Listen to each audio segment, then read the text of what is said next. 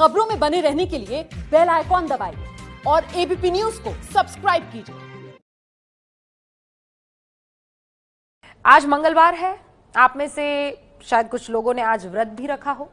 लेकिन हम मंगलवार का ज़िक्र इसलिए करते हैं क्योंकि मंगलवार को पीएम मोदी अपने सांसदों की क्लास लगाते हैं। उनकी गलती पर उन्हें फटकार लगाते हैं। इसीलिए हर मंगलवार को होने वाली बीजेपी संसदीय दल की बैठक में अब बीजेपी सांसद ये सोचते हुए पहुँचते हैं कि आज किसका नंबर आएगा? आज की बैठक में उन सांसदों और मंत्रियों को मोदी के गुस्से का सामना करना पड़ा, जो लोकसभा और राज्यसभा की कार्रवाई से गायब रहते हैं। आज की बैठक में क्या क्या हुआ, ये जाने उससे पहले पाँच हेडलाइंस। बीजेपी संसदीय दल की बैठक में फिर निकला पीएम मोदी का गुस्सा। सांसदों और मंत्रियों की क्लास लगाई। सदन से गैर हाजिर रहने वाले सांसदों और मंत्रियों को मोदी ने चेतावनी दी, कहा, मुझे सबको ठीक करना आता है। बहस के दौरान गायब रहने वाले मंत्रियों पर सख्त हुए मोदी, रोस्टर ड्यूटी में नहीं जाने वालों के नाम मांगे हैं। तीन तलाक बिल पेश होने के दिन गायब रहने वाले सांसदों से लिखित जवाब मांगा था। जवाब से मोदी संतुष्ट नहीं है।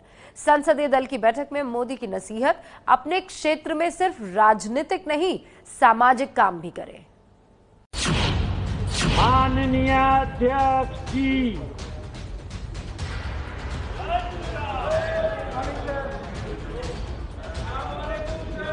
Tuition award three zero one को सपोर्ट करने के लिए यहाँ खड़ी हूँ। लेकिन जब मैं खड़ी रही हूँ इसके लिए एक मेरे मन में demand for grants of roads and transport ministry of roads and transport So due to constraints of time, sir, I won't. Uh,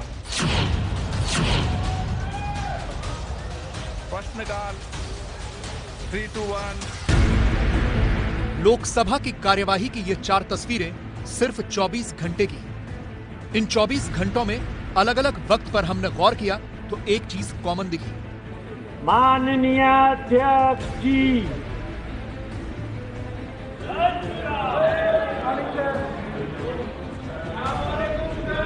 Question award 301. और वो ये कि स्पीकर ने तो सही समय पर सदन की कार्यवाही शुरू कर दी, लेकिन कई सांसदों ने इसमें शामिल होना ज़रूरी नहीं समझा। जैसे 15 जुलाई की सुबह प्रश्नकाल शुरू होने पर सत्ता पक्ष की तरफ़ सीटों की पहली पंक्ति पर कोई नहीं। दूसरी पंक्ति में सिर्फ़ तीन सांसद बैठे हैं और तीसरी में सिर्फ़ दो। लगभग ऐसी ही स्थिति लंच के बाद भी दिखी। इस वक्त एनआईए संशोधन विधेयक पर चर्चा हो रही थी पर सत्ता पक्ष के कई सांसद गायब थे। शाम हुई सड़क परिवहन और राजमार्ग के लिए बजट अनुदान पर चर्चा हो रही थी लेकिन सत्ता पक्ष की पहली चार पंक्तियों में सिर्फ़ तीन सांसद नज़र आए.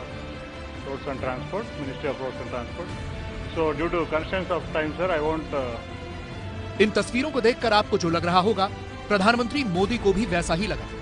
मोदी इस बात से खुश नहीं है कि उनके सांसद और मंत्री सदन की कार्यवाही में गायब रहते हैं। आज बीजेपी संसदीय दल की बैठक हुई।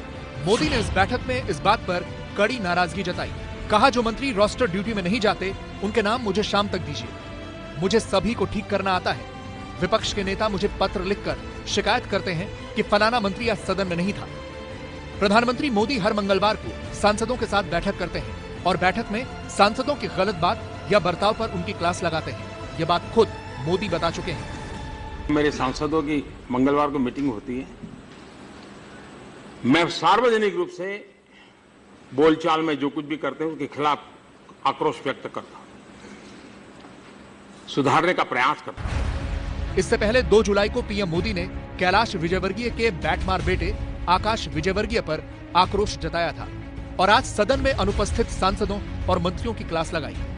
प्रधानमंत्री जी ने कहा, जैसे एज यूजल प्रधानमंत्री जी ने आग्रह किया है, जब सदन चलता है, सदन में उपस्थिति का, ये तो अनिवार्य है, इसमें तो कोई किसी को एक्सेप्शन नहीं है, इतना कहा सांसदों की गैरहाजिरी पर पीएम की नाराज़गी पहले भी देखी गई है। 21 जून को जब लोकसभा में तीन तलाक बिल पेश किया गया तो कानून मंत्री रविशंकर प्रसाद के पीछे की कई कुर्सियाँ खाली थी। सूत्रों के मुताबिक 21 जून को बीजेपी के तकरीबन 125 सांसद लोकसभा में नहीं थे। इसे लेकर पीएम ने 2 जुलाई की बैठक में न सिर्फ़ गुस्सा जताया, बल्कि संसदीय कार्य मंत्री से गैर हाजिर सांसदों से लिखित जवाब मांगने को कहा। एबीपी न्यूज़ को मिली जानकारी के मुताबिक, सांसदों के लिखित जवाब चौंकाने वाले थे। करीब सत्तावन सांसदों ने कहा कि वो संसद में थे, लेकिन जब तक उन्हें बिल की जानकारी हुई तो लोकसभा के दरवाजे बंद हो गए थे।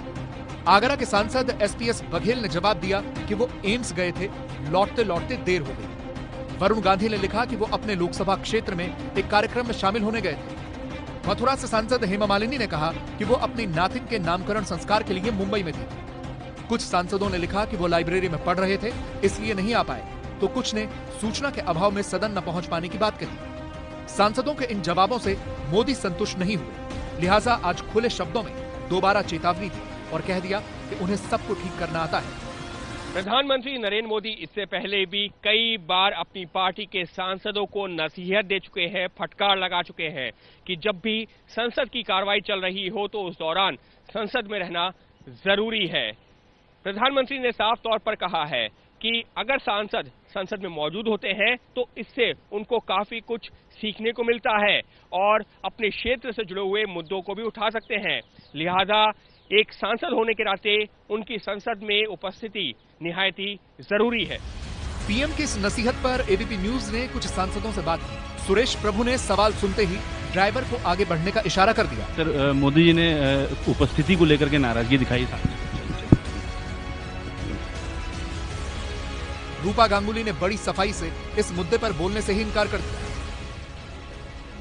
पार्लियामेंट्री मीटिंग में क्या हुआ है? वो अब तक जानकारी पहुँच चुकी है। पार्लियामेंट्री मीटिंग में अंदर क्या बात होती है उसके बारे में बोलने का मेरा हक नहीं बनता। थैंक यू ज़ाहिर है पीएम की नाराज़गी के बाद सांसदों की बोलती बंद है।